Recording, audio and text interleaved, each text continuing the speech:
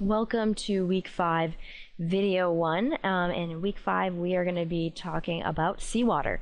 Uh, and in particular, in this video, we're going to talk about what is seawater and what some of the major properties of seawater are. In the next video, video two, we'll talk about the properties of seawater, how they're related to the composition, so kind of how they relate to each other, what do we see uh, when things change. Then we'll talk about how seawater is collected and analyzed in video three. And then in video four, we'll talk about how and why salinity and temperature vary around the globe. So to talk about what seawater is, well, um, if we took all of the water on the planet and divided it up between fresh water and water in the oceans, only 3% of the water on the planet is not in the ocean. So the oceans contain the majority of the water on the Earth, 97.7%, uh, which is about uh, 1.4 billion cubic kilometers of, um, volume, and then the average depth, um, the deepest parts are about four and a half kilometers in depth.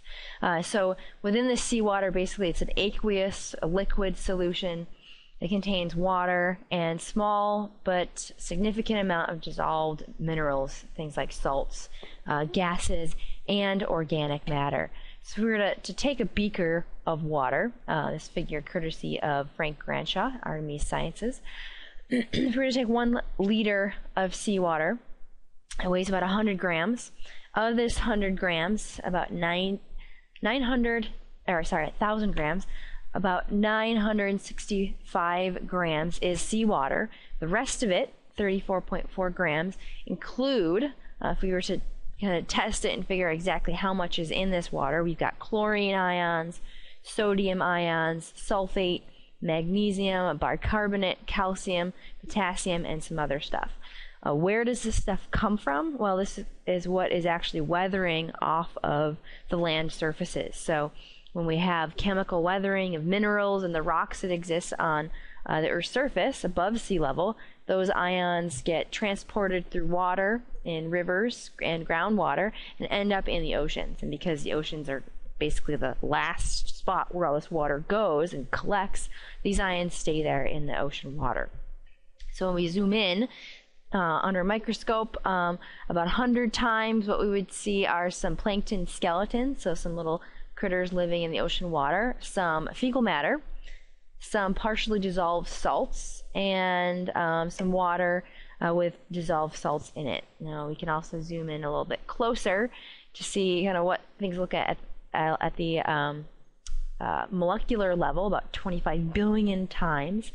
Uh, simulated of what this might look like, and the little Mickey Mouse things look uh, they look like Mickey Mouse are water molecules. Those water molecules are polarized. So one side of that molecule is uh, positive, one side is.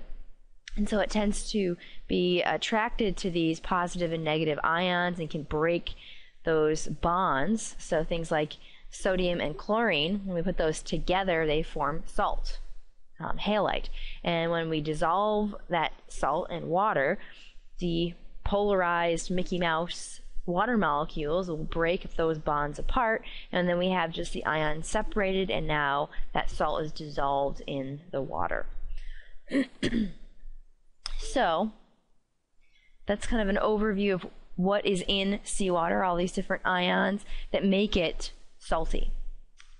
So, some of the properties of seawater. What do we uh, notice? What can we measure in the ocean when we start at the surface and going down deeper into the water?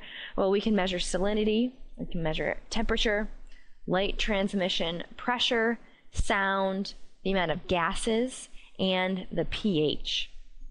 So, when we start with salinity, um, this changes with latitude and depth. So if we were to look at the tropics, about 20 degrees north or south of the equator, we see pretty uniform um, salinity. We start at the surface at sea level um, at the top of our graph right here, and then we move down to 100, or sorry, 1,000 meters or one kilometer uh, in depth down all the way to four kilometers. And then our salinity, um, you see this little symbol here, that means parts per thousand Uh, and instead of a percent, it's parts per thousand. Um, and our graph goes from 37 down to 32. Uh, in lab this week, we're going to be sampling a few salinity samples that I have mixed up, and you're going to measure what the salinity is. And um, on our next field trip, you guys are going to actually go out and measure the salinity of the ocean water. So when we look at the, the surface at sea level around the tropics, it's uh, around between 34 and 35 parts per thousand. And as we get deeper and deeper into the ocean, we see it gets a little bit um, more saline. And the reason for that is the more salt in the water, the more stuff is in that water, the heavier it is, the denser it is, so it sinks to the bottom because there's more stuff in it. so we have a, a relatively uniform salinity um, relatively high around the tropics, and that's because we have a lot of evaporation, pulling water out of the oceans, leaving those salts behind. Now, if we were to move a little bit further to the north, about 45 degrees north, our neck of the woods, well, this part of the globe, 45 degrees north and south, we have a lot of rain, a lot of fresh water rushing off of the land into the ocean. So our salinity goes down, more freshwater influences. But then around two kilometers, you can see that graph tends to follow the same trend as it did around the tropics. And if we move a little further north to the polar areas, we're seeing even lower salinity. And yes, um, this would probably be in the summertime when we have lots of meltwater coming off of the glaciers in those polar regions. In um, the winter time, this might change, might um, get a little bit more saline because we have more water freezing, less of that freshwater runoff, and so our salinity might get a little bit higher. So these not only change when we go from the surface down, and we can see in all of these three graphs, we end up with higher salinity at the bottom of the ocean, lower salinity towards the top. That's because we have fresh water influences at the surface of the ocean. Um, but it also changes um, with your location on the globe, and we'll take a look at that um, in more detail in our fourth video. So the next thing that can change is temperature. So again, we'll start at the tropics, pretty warm. So our surface water temperature is very, very warm. Uh, this is in degrees Celsius. And as we get deeper and deeper into the oceans, we end up with cooler and cooler temperatures as we get further and further away from our heat source, which is the sun, that solar radiation hitting the ocean surfaces. we have what's called a thermocline in the ocean water, and this changes um, depending upon um, the seasons, the time of day, the wind currents that might be present, ocean currents that might be present. So it, it, can be different depending on where you are in the globe and what time of year it is. Uh, in this image here, our thermocline is pretty close to the surface. I'd say between zero to about 500 kilometers in depth. And basically, what a thermocline is, is where the water temperature changes much more dramatically than the areas around it. So when we get to about 100 kilometers, maybe 750 uh, meters, we see uh, that our temperature doesn't change nearly as much as it does in that uppermost layer where it changes by almost 20 degrees um, in that upper uh, 750 meter depth um, whereas in the deeper ocean, down to four kilometers, we see it only maybe changes one or two degrees. So that thermocline is where you see a major difference in when that um, and how much that temperature changes. So tropics really warm at the surface and then gets much cooler as we get deeper. Uh, you'll notice in the next few images that our deep ocean water stays about the same temperature. It doesn't change too much. Uh, temperate areas about 45 degrees north, we see um, that our uh, change, our thermocline is a little bit deeper. Part of the reason for this is we have ocean currents in some of these regions that are churning a lot of that uh, temperature up. We have a lot of storms that come through these areas, uh, and that can also help uh, create turbulence in the water as well. Uh, and our maximum temperature is a little bit lower, cooler, uh, lat in that those latitudes. And then the polar regions, not much change as we go from the deepest areas to the shallower areas because it's cold in the polar regions. So our surface temperatures are going to be cold. That's temperature. Our uh, light variation, so how does it change with depth? Um, well, in the open ocean, this is where we get the most amount of light penetrating into the ocean, about 250 meters at the most.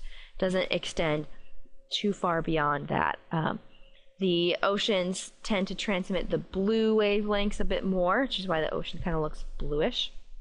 Um, so incoming light, not super deep, 250 meters, but that is the deepest that it, it will actually uh, penetrate into the ocean. And this is at a maximum depth of four and a half kilometers. Uh, if we move to an area like a coastal ocean, so someplace that's maybe just off the, the Oregon coast here, um, we have a maximum depth of 250 meters. Light only goes down to 20 meters. And the reason for that is because we're closer to land there's more suspended particles in that ocean water. There's more clays, there might be some larger sands that exist, and that tends to um, affect the amount of light that can get into the water. So the more particles that are there, the more uh, we have things that can block the light from getting into that ocean. So only 20 meters in a coastal ocean. In an estuary, um, even less. Our max depth is 20 meters and our light can only get in about five meters. And the reason for this is in these estuaries, they're pretty shallow, they're very muddy. If you can remember that from our field trip uh, that we took to the Tillamook Bay area, very, very muddy. When we have tides coming in and out, those tides and those waves churn up that mud, and so we get even more stuff in the water to block the light that comes into the ocean. So estuaries, very little light penetration, open ocean the most. Pressure increases the depth as we uh, get deeper and deeper into the ocean, the more and more water is above us.